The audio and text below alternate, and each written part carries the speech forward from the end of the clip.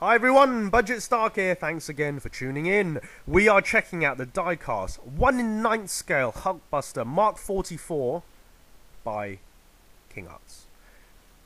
Thank you, King Arts, who provided the footage and the photos here. Please check out their Facebook page and website for more info related to their figures and up and coming items for release. The link is in the video description below. Before we talk about the Hulkbuster, I just want to reiterate something. King Arts, just like Hot Toys Secret Base, just like Toy Hunters, just like Kids Logic, only sell figures locally to Hong Kong collectors. So if you're interested in picking up King Arts products, figures, items, one-to-one movie replicas, you should try companies like over in the USA, probably Big Bad Toy Store. If you're in the UK, The Good, the Bad and the Robots, Toy HQ, one Sixth Bruce, or even eBay.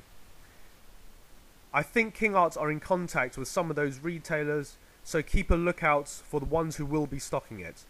So, just some background firstly. The release date of this is quarter 1, quarter 2 in 2016. It's a die-cast figure 1 in 9th scale, which stands around 16 inches. A normal 1 in 9th scale figure is around 9.5 inches.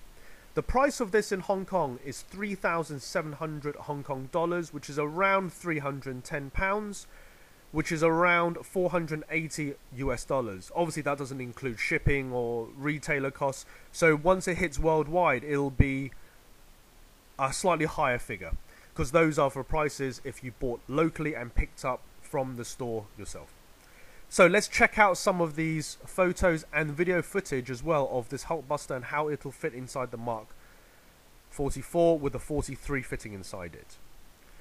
The top half opens up and you can see that the chest armor will come out. This is held on by magnets and we'll see that at the video demonstrated by a member of staff over at King Arts.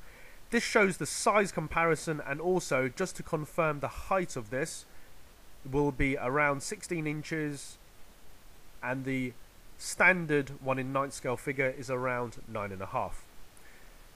So we're going to check out this footage which actually is also on their Facebook page.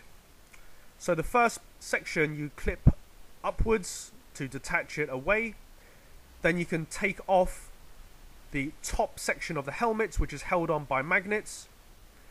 And then the shoulder armor on each side can come off and then attaches itself via magnets again. Now the whole center section can come away and detach itself again, held on with magnets, leaving the central cavity which will fit the Mark 43. I believe they haven't finished designing the center where it will house it.